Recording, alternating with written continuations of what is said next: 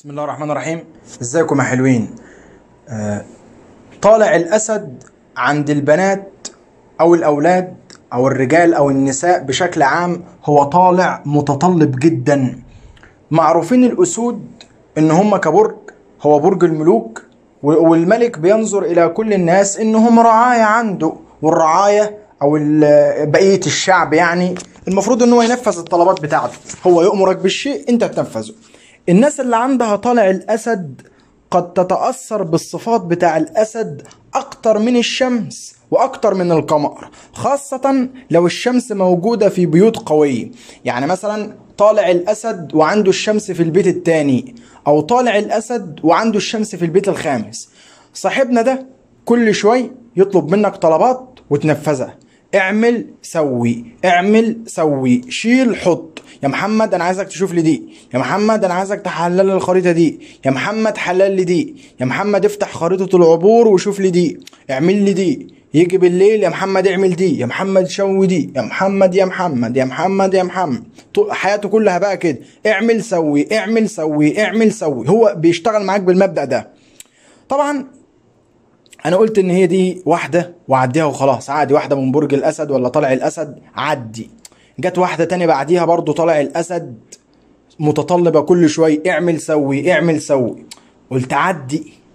اللي التالتة برضو طالع الأسد. اعمل وسوي وحط وشيل. عدي. رابع واحدة طالع الأسد نفس الفيلم الأزرق ده. اعمل وسوي وشيل وحط. طبعا بقى لما تيجي تفكر في الموضوع تلاقي إن طالع الأسد ونساء طالع الأسد انت لو اتجوزت واحدة فيهم اعرف إن كده ربنا يعني إيه؟ ربنا عايز يتعبك. أو مش هو مش كده استغفر الله العظيم مش ربنا عايز يتعبك. هو أنت ذات نفسك أمك دعت عليك واتجوزت واحدة طالع الأسد. كل شوية طل- تطلب طلبات. تتصل بيك ألو معلش اشتري لي كده وهات لي كده واعمل لي كده وسوي لي. خلاص خلصنا؟ طيب. كمان بعدها بشوية اعمل وسوي وشيل وحط. ما تفهمش. يعني إحنا إحنا الخدامين اللي أبوهم اشترى لهم من السوق ولا إيه بالظبط؟ إيه قصة الن- النسوان بتوع طالع الأسد؟ أنا ما أعرفش إيه قصتهم صراحة. اللي أنا أعرفه إن هم متطلبين بزيادة. كل شوية اعمل سوي يا أخي وما يستحون على وجيههم ابدا ويعني ويسكتوا ويبطلوا طلبات. كل شوية شوف لي واعمل لي وسوي لي. شوف لي واعمل لي وسوي لي. أنا أنصحك وأنا من برج الأسد إنك تديها فوق دماغها.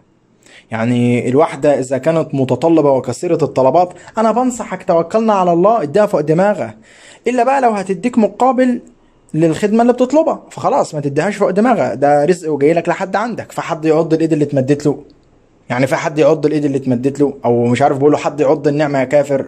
فحد يعض النعمة يا كافر. ما حدش بيعض النعمة. ولكن يا أخي آه، نساء طالع الأسد فيهم كده كمية غتاتة وبيض. يا ولد أبضن من من نساء الأسد نفسه من نساء الشمس. يعني تحس كده فيهم كمية آه، أنعرة كده وتكبر. أنا عايزة واعمل لي وسوي لي وشيل لي وحط لي وودي لي وجيب لي وشوف وشوف وشوف. أنا أول ما الاقيها بتتكلم كده بالمنظر ده بالأسلوب ده طبعا أنا ما يعني ما سيبهاش صراحة. هاتك بقى تنمر. كل شوية لازم نقعد نستهزأ بيها نقعد نسخر منها. ده أكيد دي حاجات أساسية. لازم نهز ثقتها في نفسها. شوف دور على طالع الأسد وتنمر عليه. يعني أنا أسمح لك إنك تتنمر على كل طوالع الأسد رجالا ونساء. كل ما يطلبوا شيء اتنمر عليهم. كل ما يطلبوا شيء استهزأ بيهم. كل ما يطلبوا شيء اسخر منهم ده أمر واجب على كل مسلم ومسلمة وكل مسيحي ومسيحية وكل كافر وكافره لازم إحنا نتنمر على طالع الأسد. ده شيء ضروري جدا في هذه الحياة. الناس دول ما بيبطلوش طلبات. من أول ما يقوموا من الساعة 6 الصبح من النوم لحد ما يتخمدوا آخر الليل خمدة ما يقوموا منها عايزين طلبات. اعمل لي وسوي لي. يا محمد يا محمد. محمد ده الخدام اللي أبوها اشتراه لها من السوق. يعني محمد ده هو الخدام اللي, جاي ينزل معاها built in نزل معاها في ال package. يا محمد يا محمد. خلاص محمد طفش منك. محمد بطل الشغلانة عشان خاطرك. أه، محمد هاجر طفش طفر خلاص. أه، تاب إلى الله. تاب إلى الله وبطل الشغلانة على يدك يا شيخ بجد يعني طالع الأسد ده أنا ما أعرفش أنا أنا أول مرة أحس كده. يعني أنا قلت معروف إن الأسد طماع وكلامه كتير وأوامره كتيرة وطلباته كتير. لكن إنه يكون متطلب بزيادة كده كل خمس دقايق اعمل وسوي وشوف ليه ويا أخي يتكلموا بثقة. إنك فعلا لازم تسوي كده. الله!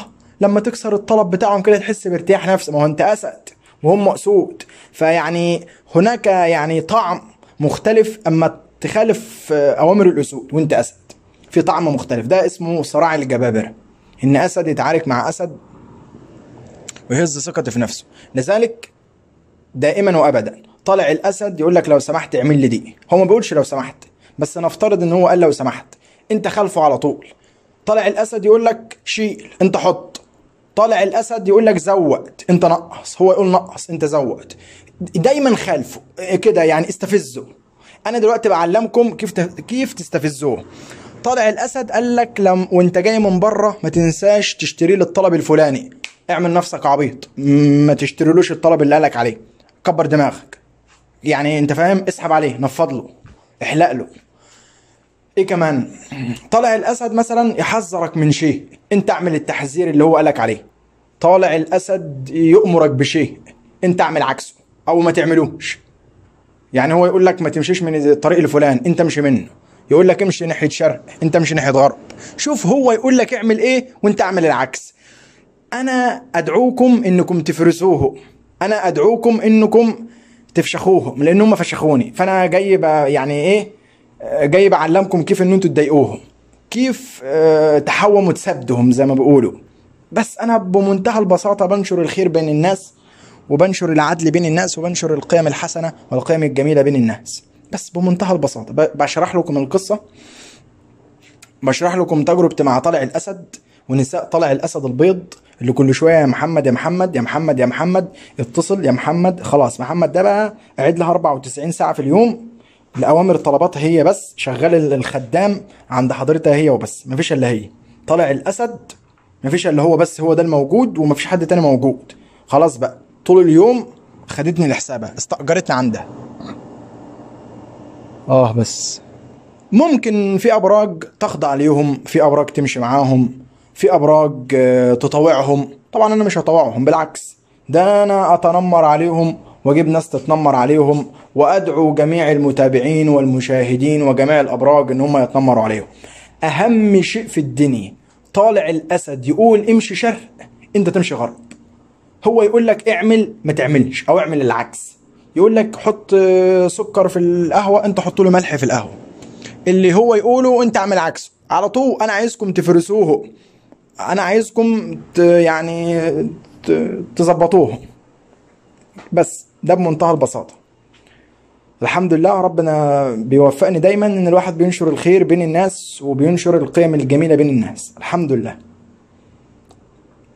طالع الأسد يأمرك انت خده على قد عقله وقول له حاضر مفيش مشاكل. تحت أمرك يا فندم وتعمل العكس على طول. على طول. ما يعني ما ما تشاورش نفسك ولا تشاورني ولا تشاور هو يقول لك حلال النهارده. تقول له حاضر وتطنش تحلله بكرة.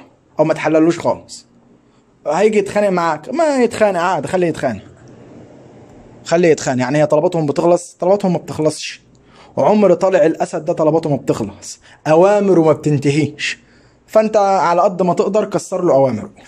يحبك بقى يكرهك ما يكرهكش. كبر دماغك بلا يحبك بلا ما يحبكش. إحنا استفدنا إيه من حبهم المعفنين دول؟ استفدناش حاجة. خلهم يولوا. يعني أنا أنا دائما بحب أنشر الخير بين الناس. بس لو الناس تفهمني. الناس هي مش عايزة تفهمني صراحة. مسيركم يجي يوم من الأيام وتقابل ناس طلع الأسد تتعامل معاهم يوم اتنين تلاتة تستحملهم تستحملهم تستحملهم وبعدها هتكون زي حالة تانية كده دلوقتي. تسجل تسجيل وانت طفشان خلاص هت... هتطق منهم. شكرا.